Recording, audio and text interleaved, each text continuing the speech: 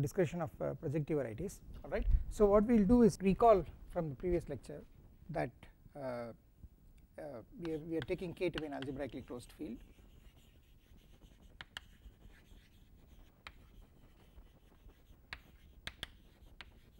so we always uh, uh, at least uh, when I define the projective space I do not need this and in principle according to general the most general version of algebraic geometry which is scheme theory in fact for defining projective space k need not even be a field it can even be a ring but then let us not go we are not working in that generality but we assume that at least uh, we are working with fields and since we are going to do geometry uh, we are working with algebraically closed fields okay. Uh, so at least for the initial part k just need be a field it need not even be algebraically closed. So you know we have projective n space. This is projective n space n space over k.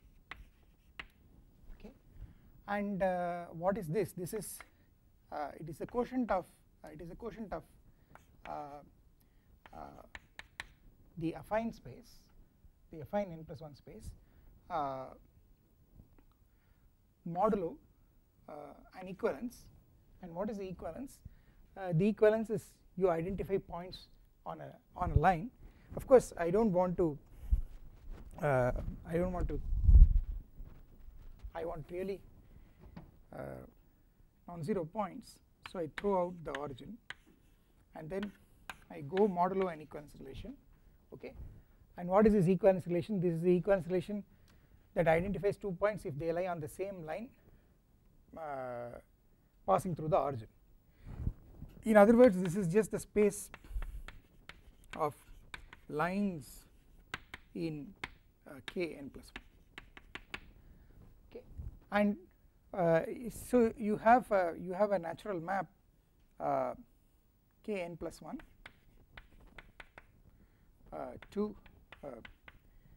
p n k n plus 1 minus 0 this is the punctured affine space to projective space. There is a natural map which is the quotient map okay?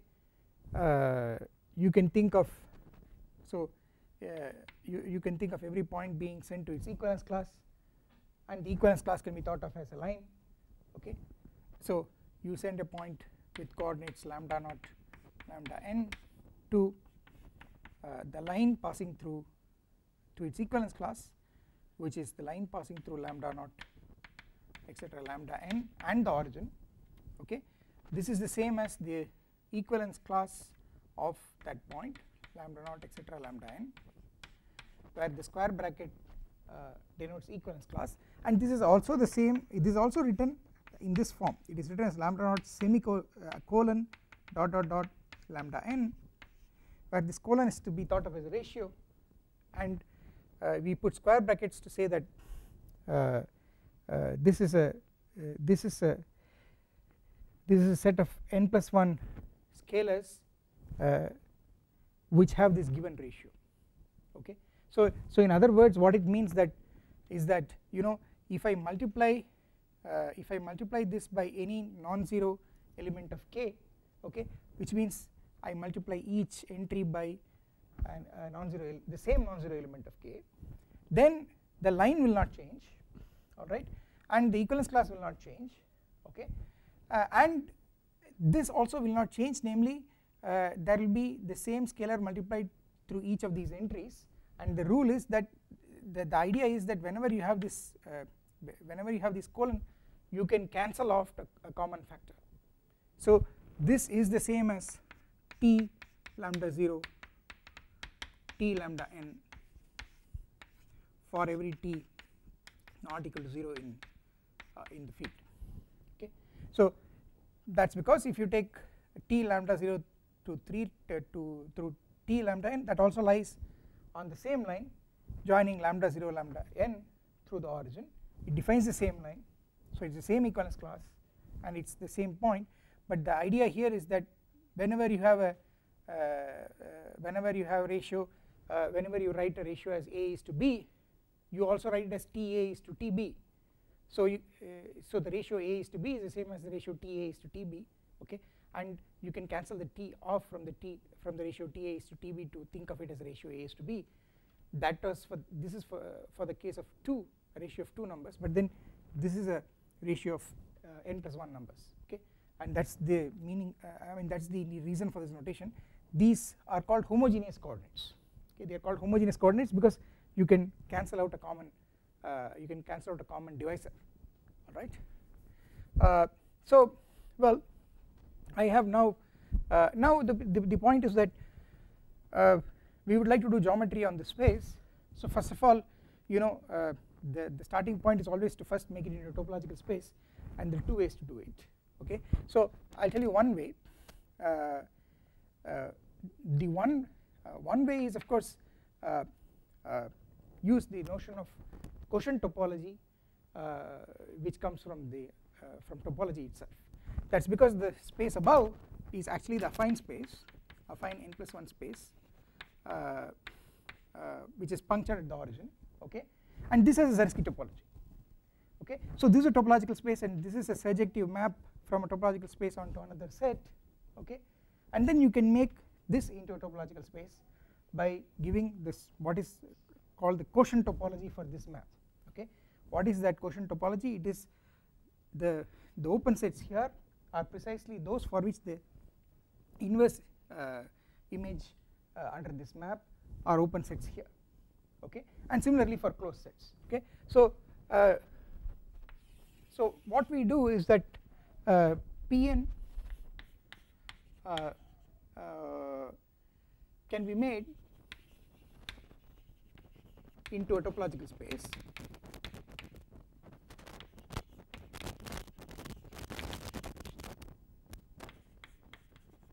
In two ways. Number 1 uh, use the Zariski topology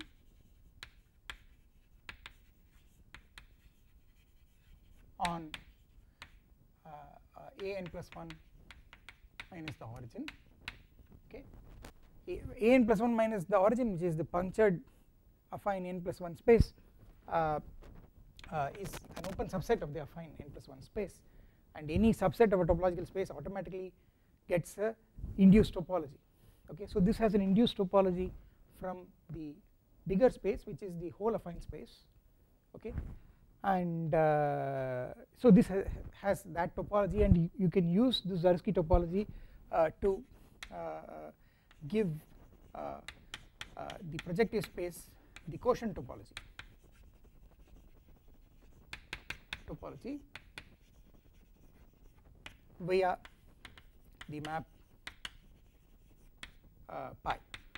You think of pi as a quotient map because it is quotient by an equivalence relation. The after all what is projective space? Is the space of lines. What are the lines? They are the equivalence classes under this equivalence relation. So this is a set of equivalence classes. And you always call a map that goes from a set to uh, the set of equivalence classes a quotient map. And you call this set of equivalence classes as the set of uh, you, you, call this the um, you call the quotient of the you call this the quotient of the given set by the given equivalence relation so this this affine space here is being th this projective space is here being thought of as the punctured affine space uh, modulo going mod this equivalence okay? And going modulo this equivalence is geometrically the same as looking at lines okay? And every equivalence class here is a line there passing through the origin okay? So of course when I say space of lines in Kn plus 1 I should say through the origin. That is important. If I simply say space of all lines that is not correct. I meant space of lines in n plus 1 affine space through the origin right? And uh, okay so uh, so this is a standard thing in topology. Whenever you have a topological space and you have an equivalence relation on that then you can go to the set of equivalence classes. There is a natural surjective map which associates to every point uh, its equivalence class and then you can always give the quotient the set of equivalence classes a quotient topology using that map. Okay and we can follow that. Uh, and what is that? That is a, a subset uh, uh, W in Pn is open uh, respectively close if and only if pi inverse of W is open respectively closed in the space above. Because in the space above which is a punctured affine space you know what closed or open means. Okay? Open means it's a complement of a closed set uh, and a closed set means it's uh, an algebraic set. So uh, uh, a closed set here is an algebraic set in the affine n plus 1 space with the origin removed. Okay that's what that's what closed sets here are right for the induced topology. So this is one way uh, you can give this quotient topology. And you see in this quotient topology uh, uh, always in in the definition of the quotient topology automatically it is a it ensures that the quotient map becomes continuous. Because you are saying that a set here is open if and only if the inverse image is open. So automatically a set is if a set is open then its inverse image becomes open and that is the condition for verifying the continuity of a map okay? So when you give the quotient topology automatically the map becomes continuous okay? The what is the other way of doing things? The other way of doing things is you try to indigenously define the uh, Zariski topology on the projective space okay and uh, uh, uh, and how do you do that? You imitate what you did for the affine space. Okay for the affine space how did we define the Zariski topology? We defined the Zariski topology by defining closed sets and what were closed sets they were sets of common zeros of a bunch of polynomials in the right number of variables. Now what you do is you uh, you just adapt the same definition. Okay but now you say that you look at common zeros of a bunch of polynomials uh, but not just any polynomials but polynomials are homogeneous okay? Because uh, uh, if a polynomial is not homogeneous then it's not it doesn't guarantee that if it vanishes at one point of a line uh, it will vanish at other points of the line passing through the origin okay? So uh, so so you know uh, so you know uh, what I am trying to say is that when we defined uh, uh, for example a closed set in an or an plus 1 of course this is sitting inside an I mean an plus 1 and how did we define a closed set here? A closed set here was well we took a polynomial in n plus 1 variables alright and then uh, not one of not one polynomial but several polynomials a collection of polynomials. And look at the common zeros and define such sets, sets to be closed sets here okay?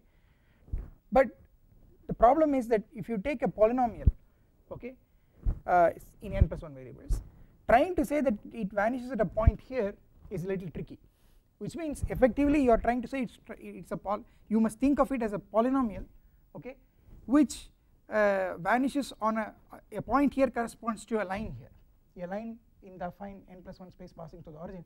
You want a polynomial to vanish on a line okay now uh, that won't happen unless the polynomial is homogeneous.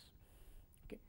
So uh, at least uh, uh, I should say that at least if the polynomial is homogeneous you have hope of uh, the property that if it vanishes at, at a point uh, on a line passing through the origin then it will vanish on the entire line passing through the origin. Okay. So that is the reason that when you define the Zariski topology on projective n space you look at homogeneous polynomials. And you imitate the definition of Zariski topology on a affine space. While in a affine space a close the closed sets are given by common zero loci of a bunch of polynomials. In projective space the uh, uh, the closed sets or the algebraic sets are given by common zero loci of a bunch of homogeneous polynomials. Okay? So uh, so here is the second definition. Uh, define uh, the uh, the Zariski topology on uh, Pn to be uh, to be the one for which uh, the closed sets are given as uh, the common 0 common zeros of a collection a subset of homogeneous polynomials.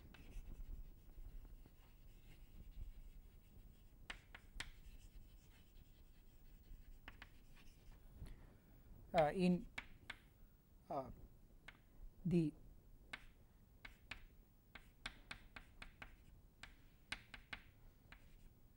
in all the you know uh, functions on the uh, affine space above uh, which is just identified with k x x naught through x.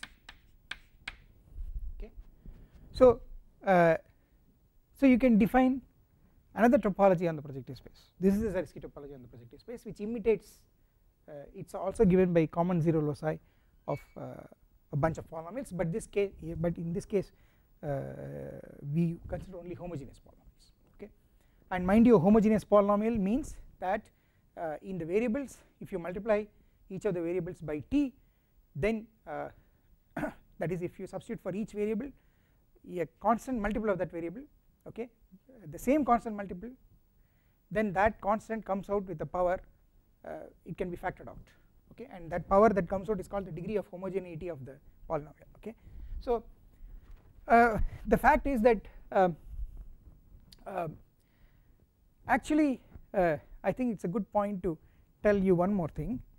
Uh, there is in fact one more way of getting the topology on Pn okay? So I will tell you what that one more way. There is yet another way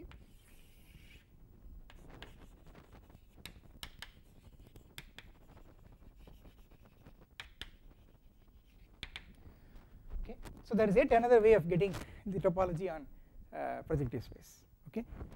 Uh, and of course you know what I am trying to tell you I am going to, I am I'm just going to tell you that you know uh, you define there are three ways of defining the topology on projective space and they are all the same okay? They are all going to give you they are all going to give you the same result alright. So what is this yet another way? This is this is the standard uh, way uh, uh, in which you think of projective space as being gotten by gluing n plus 1 copies of affine space.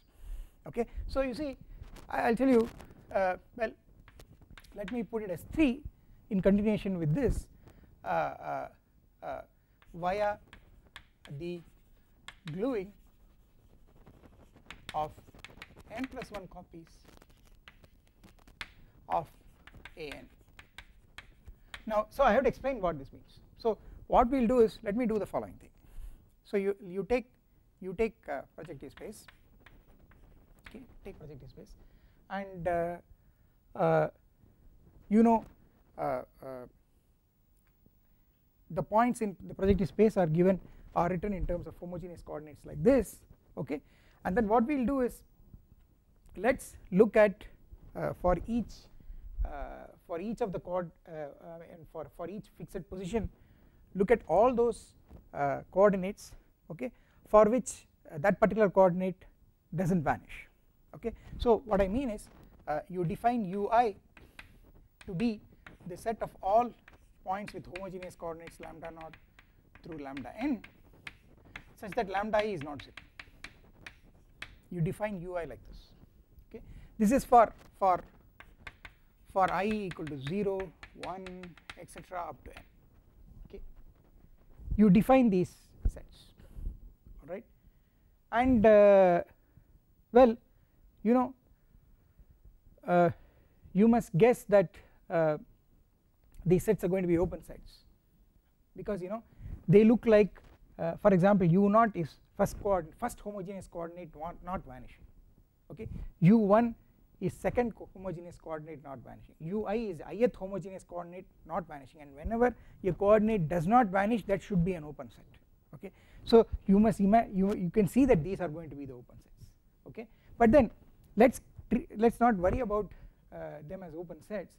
You know uh, uh, well in fact I can say I can say that you know if you take the inverse image of this ui okay uh, uh, under this uh, under this map then I'm going to get the complement of the 0 set of xi the ith coordinate.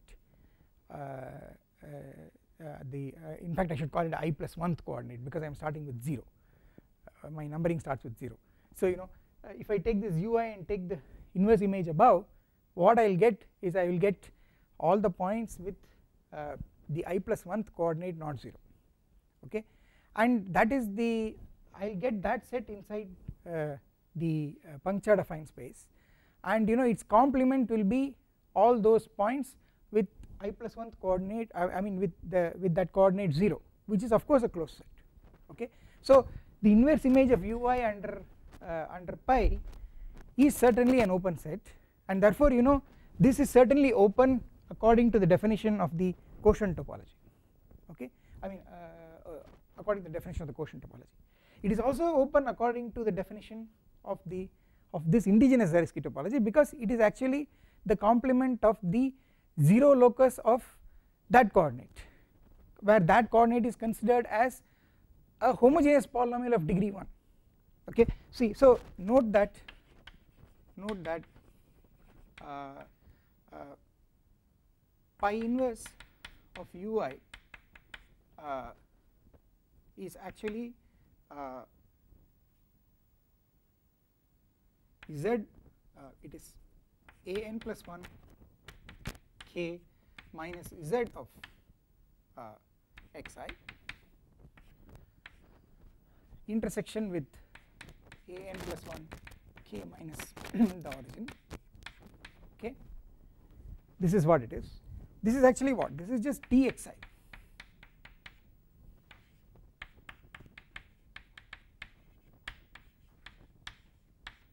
it is this so uh, the complement of uh, the 0 set of xi is the basic open set defined by xi alright and that is an open set and if you intersect it with uh, this subset it will give you an open subset of this okay? So this is which is open which is open in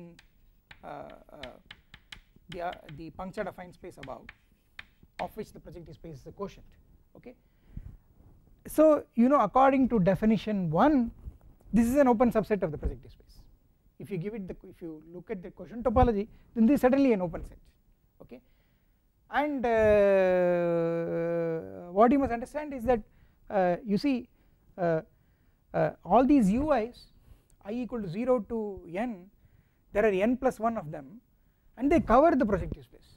Because when you write a point with projective homogeneous coordinates all coordinates cannot be 0 because you you thrown out. This is the image of a point on the punctured affine space above okay? So you are not uh, so all the coordinates cannot be 0 right so whenever you write homogeneous coordinates at least one coordinate is not 0 which tells you that therefore that point lies in one of the ui's so all the ui's these n plus 1 ui's they are a cover for the projective space okay? And uh, uh, according to this definition uh, uh, if you give the map pi the quotient topology then these ui's are open okay?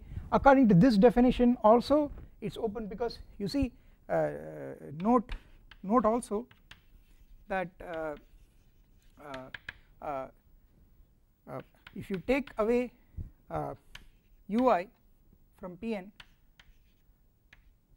what you will get is of course the 0 set in Pn of the homogeneous polynomial xi see you take the polynomial xi okay that is of course homogeneous polynomial it is homogeneous of degree 1 alright.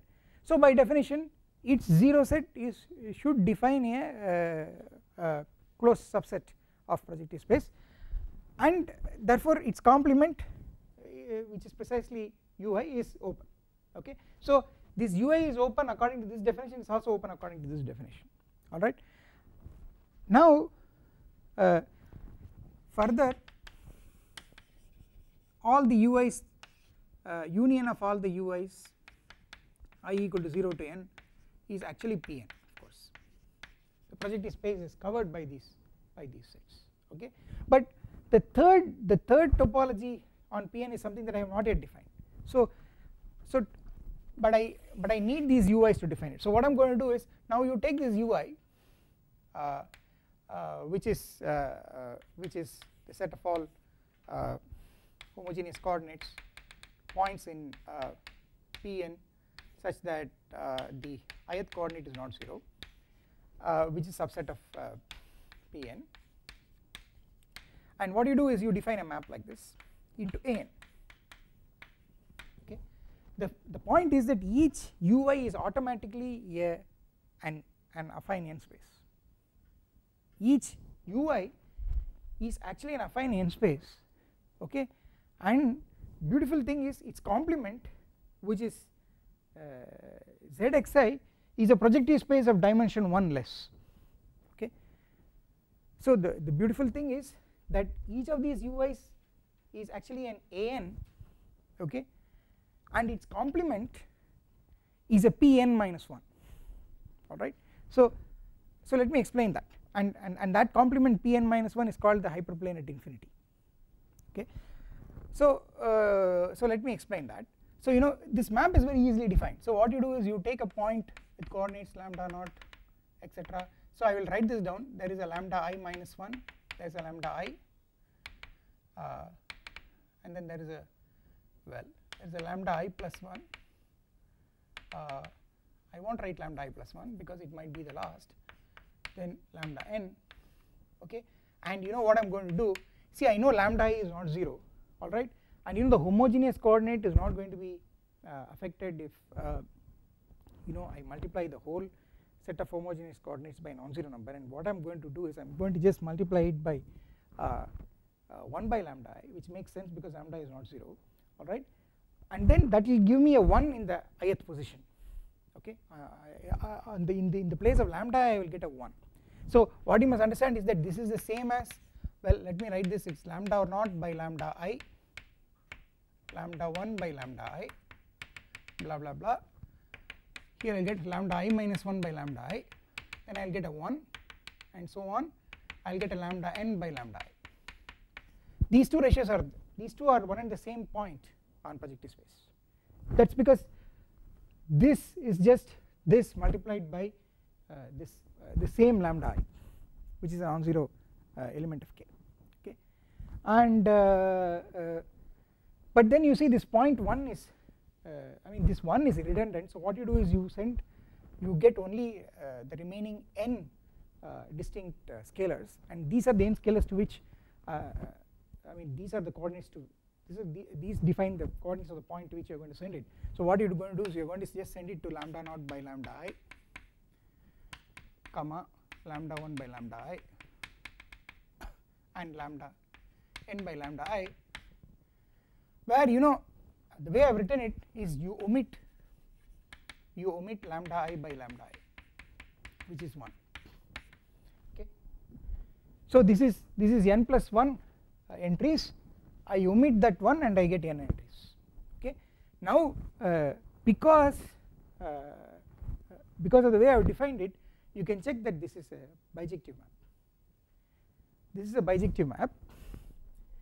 Uh, that's the reason is because you know the moment one of the coordinates becomes 1 you see uh, then uh, then the other coordinates are unique for that given line. Because if you try to change by a scalar okay then uh, uh, uh, this you can't change it by scalar without changing the 1 to something else. Okay? So if you freeze the ith coordinate as 1 then the remaining then for each line for which the ith coordinate is not 0 okay? If you if you if you uh, rationalize so that the ith coordinate becomes 1 for a representative point on the line then the remaining n coordinates are unique. So the fact is that this is a bijective map. So I know let me call this as phi. I phi i is a bijection. This phi i is a bijection. And uh, uh, uh, of course you know it is a bijection. Why is it surjective? Well uh, phi i uh, is injective. It is injective and surjective for the reasons I just said. But anyway let me if you, if you want you can write it down. It is not a big deal you know if uh, if you have if phi of one point a given point lambda naught through lambda n uh, is equal to phi of another point mu naught through mu n then so this will imply that uh, lambda naught by lambda i etc lambda n by lambda i is the same as mu naught by mu i by mu i and so on u n by mu i. Okay? And uh, uh, what this will tell you is that it will just tell you that lambda naught uh, uh so it will tell you that lambda naught is lambda i by mu i into mu naught. So each lambda j is lambda i by mu i into mu j and this lambda i by mu i is one the same uh, it's fixed i is fixed okay. Lambda is fixed mu i is fixed okay. Therefore this quotient is a uh, is a fixed scalar. And what you are saying is that every lambda is a fixed scalar times every mu the corresponding mu. And that means that these two points define one in the same line. That means they are one in the same point on projective space. So this implies that the these two points are the same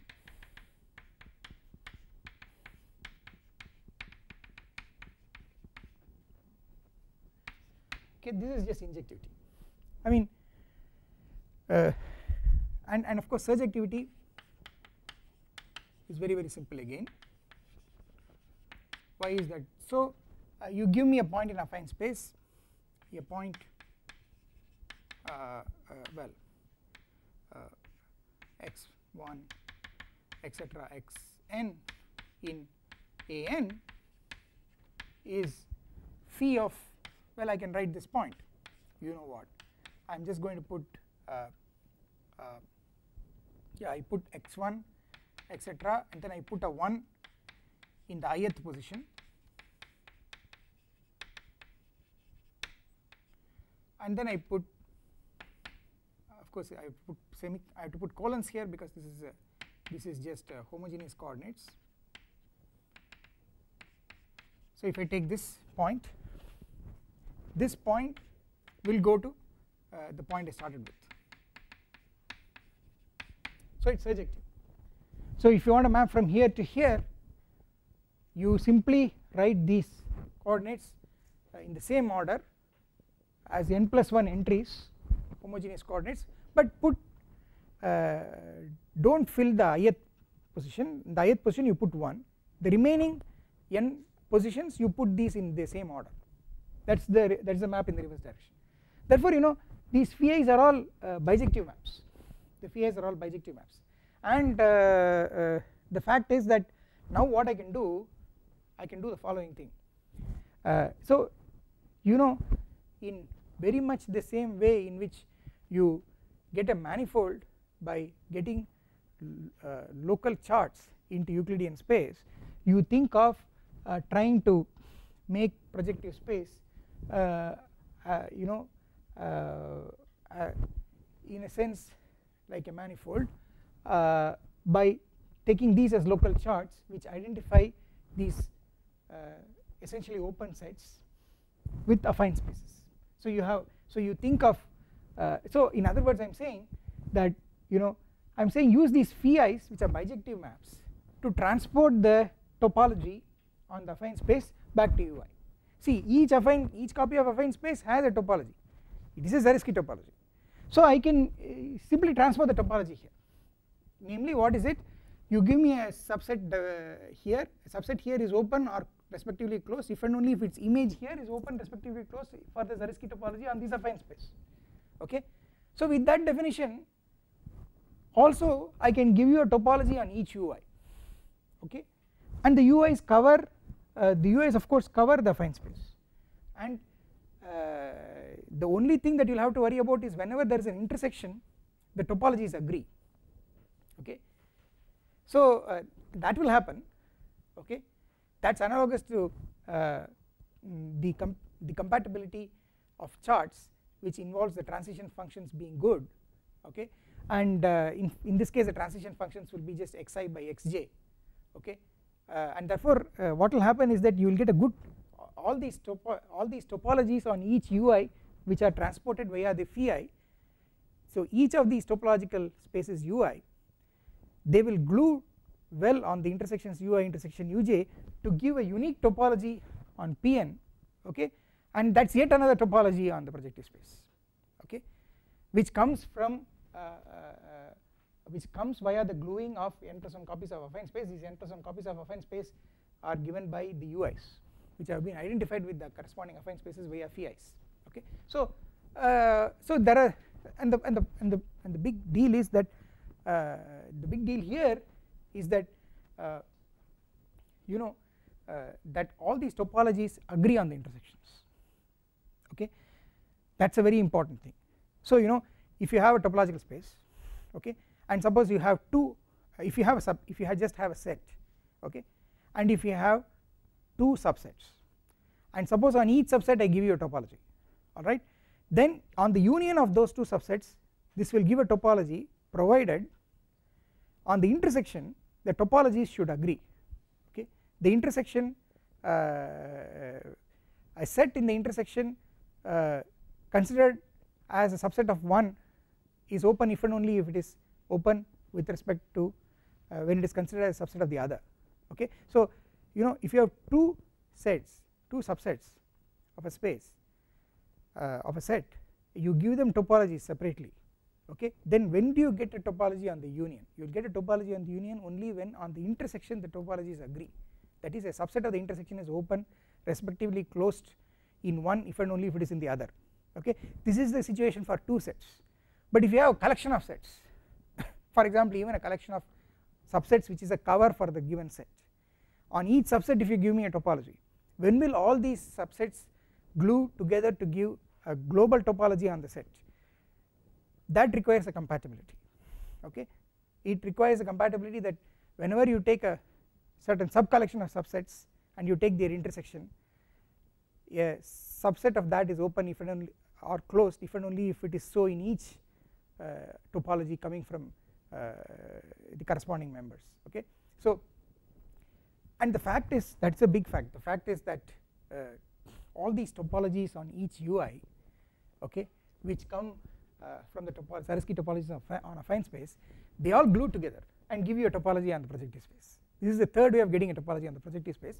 And the fact is all the three are one and the same okay? So there are three ways of giving a topology on projective space. And they are all the same now uh, what I am going to do is uh, uh, so let me write that down. So maybe I will write it here. So I will write here give each ui a topology by declaring phi to be a homeomorphism.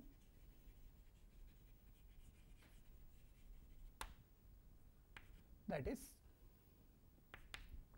that is a subset W in UI is open respectively closed.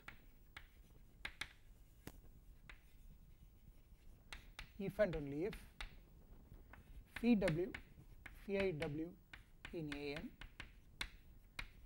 is open respectively closed.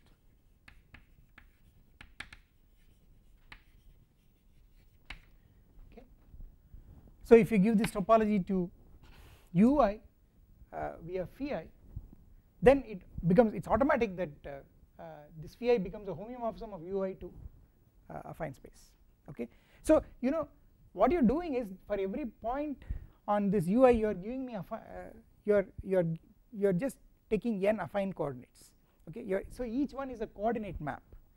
Each one should be thought of as a chart the analog of a chart for a manifold okay? So each one is a coordinate map alright and what we are saying is that uh, once you once you have a manifold structure uh, each uh, each chart in the atlas if you take the corresponding coordinate map it is of course a, a, a good function.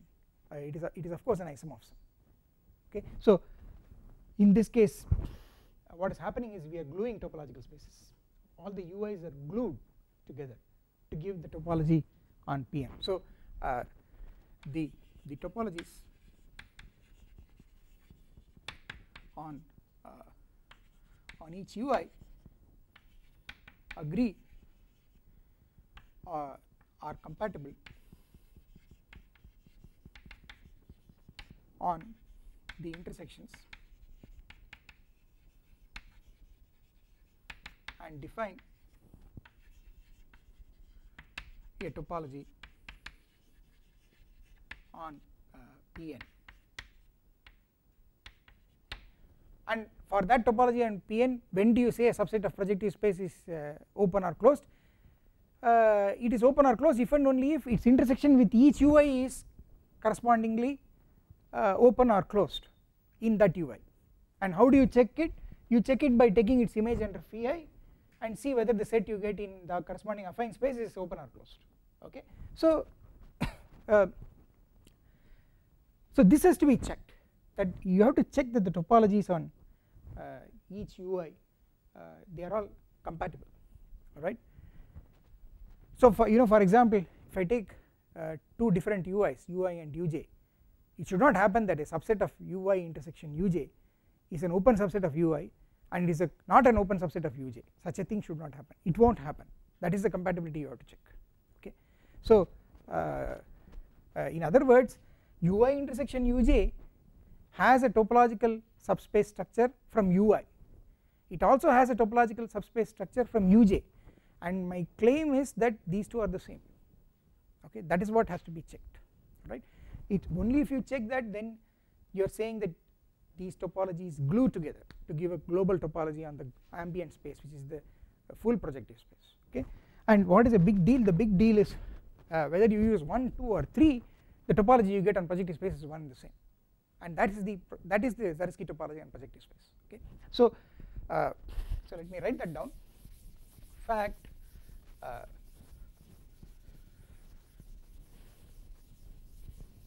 so here is a fact. It needs a little bit of checking that it's pretty easy to do. You can try it out. Fact uh, or theorem if you want.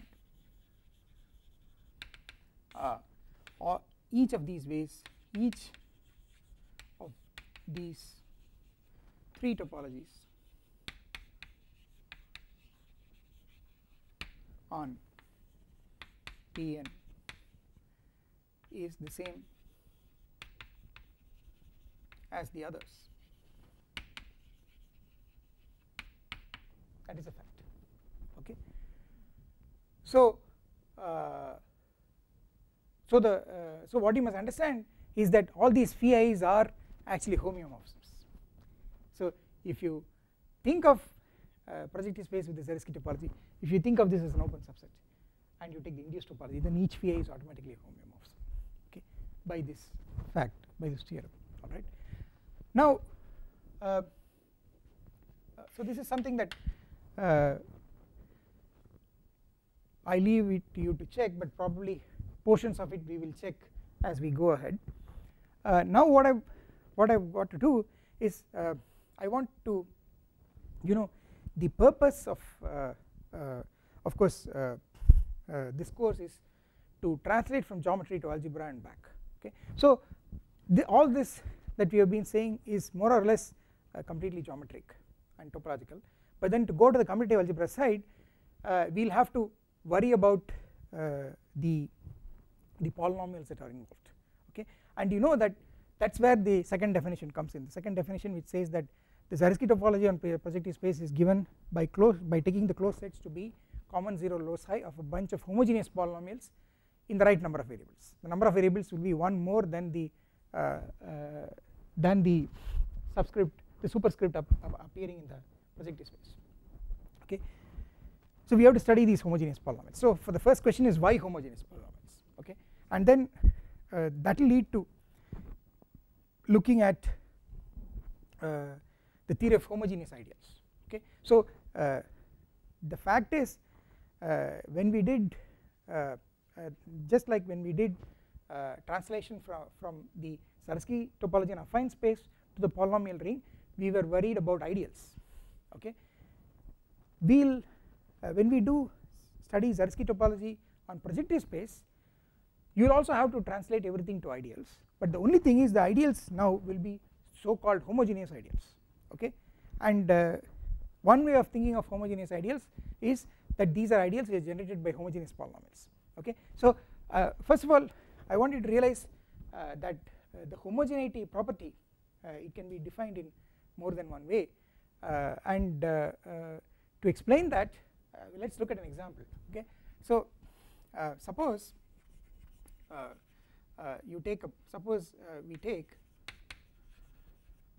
a point lambda naught lambda n in projective space.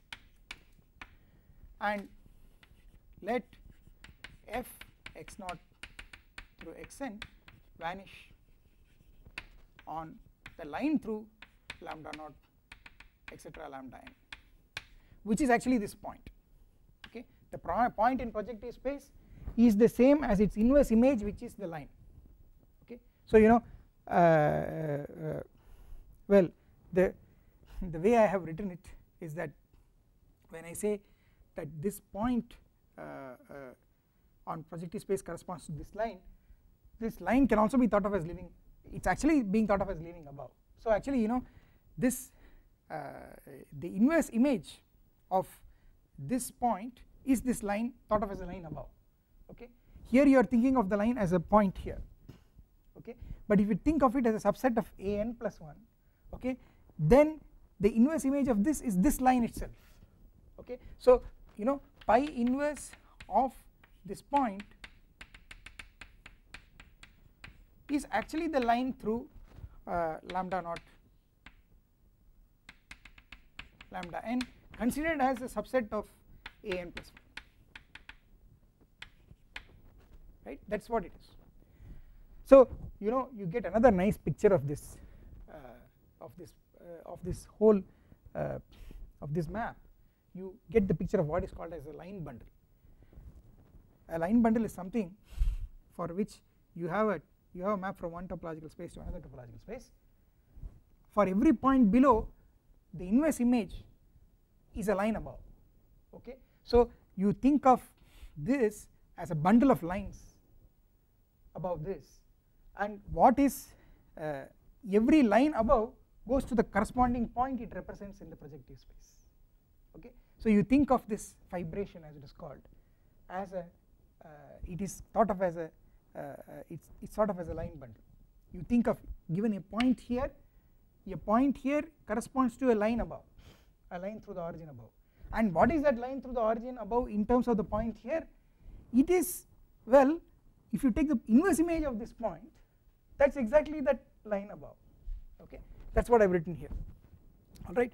Now you see uh, see if the if the polynomial vanishes on this line okay what it means is so so this so this implies for every t uh, uh, for every t uh, which is a non-zero scalar the field okay uh, well f of t uh, lambda naught etc t lambda n should be 0 this should happen right? Because you see I have told you that the uh, uh, so you know if I draw a diagram here is my projective space okay? And I have taken a point here uh, with with homogeneous coordinates lambda naught through lambda n. And under this map pi I go to the affine punctured affine space above what I get is well I get the line uh, through lambda naught uh, etc lambda n minus of course the origin. Okay. So if I take pi uh, this is what uh, so pi inverse gives me this. Inverse image. Do not confuse pi inverse for inverse map I get this line. Of course I, the, the origin is thrown out because I am considering it as a subset of the punctured plane. Then you see when I say the polynomial vanishes on this line it means that it should vanish at every point on that line and every point on that line looks like this. Okay? But then you write this out. You write this out. What it will tell you is the following. Uh, yeah so I should here also when I say pi inverse of the point is this line uh, I should say uh, this line minus the origin. Uh, inside affine in, inside the punctured affine space because pi is not defined at 0 alright so this is the right way to write it. But you do not worry about uh, the, the point at 0 which has been intentionally removed okay? So well so in any case now you see you write this polynomial f of x naught xn you break it down into its various homogeneous components. You see a polynomial in n variables can be broken up into pieces a sum of pieces each of which is homogeneous of a particular degree. So there is a degree 1 term which will be linear expression in the xi's okay. Then there will be a degree 2 term which is a linear expression in product of two xi's namely it will involve xi squareds and you will get xi xj okay and so on. You will get so the polynomial breaks down into f naught x naught etc xn this is this is degree 0 so this is actually a constant. This is the zeroth. This is this is the constant term of the polynomial which is which is what you will get when you put everything 0 okay. Plus I will get f of f1 which is degree 1 term is degree 1 this is the linear term. Okay. Uh, then and I will get it and I will go on like this. And I will get fd which is the degree d term. This is the degree d term. And of course when d is 1 it is linear. D is 2 it is quadratic. D is 3 it is cubic and so on and so forth and so on you go on up to f to the degree f. This is the highest degree of the polynomial okay? It is a degree of the highest weight monomial that monomials that occur okay? And the point is that each of these guys is homogeneous of a corresponding degree. So if you take fd this homogeneous of degree d. F1 is linear it is homogeneous of degree 1 alright? And now you know let's let's look at this condition f of t lambda naught through t lambda n is 0 for every t non-zero. So what it will tell you is 0 is equal to f of t lambda naught uh, t lambda n. That will be that will tell you that you know when I plug this in I will get well uh, this will just remain f naught t lambda naught t lambda n. Plus when I plug t lambda naught through t lambda n uh, here then t will come out because it is degree 1 similarly when I plug it in fd t power d will come out because it is homogeneous of degree d. So the expression will look like, look like t times f of lambda naught etc lambda n plus t squared f of lambda naught etc lambda n and so on t to the d f of lambda naught etc lambda n plus blah blah blah you will get t power degree f times f of lambda naught etc lambda this is what you get. You get for every t for every t not equal to 0 in the field okay you get this expression. Uh, sorry yeah I should put sorry you are right I should put f1 should put f2 fd this is f sub degree f. Yeah thanks. These are not uh, they, they, should not be f. They are the corresponding homogeneous components thanks. So this is t times f1 t squared time times f2 t power d times fd and so on. Okay? Now you know uh, I want to uh, uh, I claim that this implies that uh, you know uh, I claim that this implies that f each f d of uh, lambda naught etc lambda is 0 uh, is 0 for every d greater than or equal to 0 okay. I claim that uh, each uh, fd uh, each fd vanishes. And and and and and so uh, fd of t lambda naught etc t lambda n also vanishes for all t in uh, a scalar which is non-zero. This is my claim. Okay? You know see therefore uh, what I am trying to say is that if a polynomial vanishes on a line then each of its homogeneous components also vanishes on that line. Okay each of its homogeneous components also vanishes on that line. Okay that is what I am trying to say. And uh, this is the key to defining uh, a homogeneous ideal. Alright and why is this true? Why this is true is because you know let let me call this as uh, let me call this scalar as a naught. After all this is scalar. Uh, uh, uh, of course here this is independent of t because this is the first term it is constant. So let me call this so uh, what I will get is I will get a naught plus t a1 plus t squared a2 plus t power d ad and so on up to uh, plus t power degree f a sub degree f is 0 so I will get a polynomial in one variable okay with these coefficients k coefficients.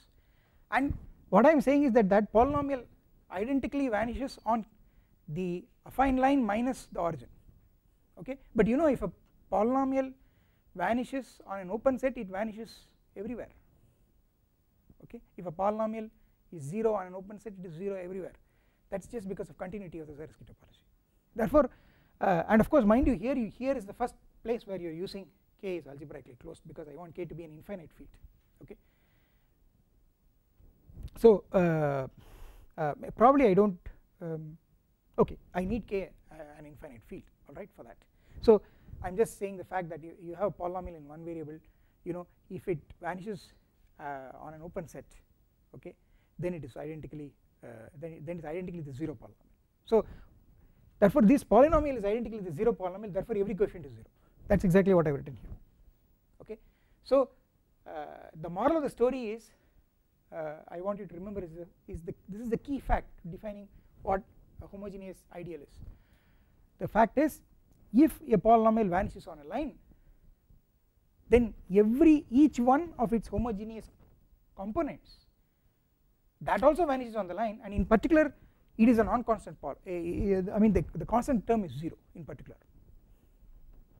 the constant term cannot be non-zero the constant term has to be 0 okay. So, uh, so this is the point I want you to remember when we go to the next lecture right so I will stop here.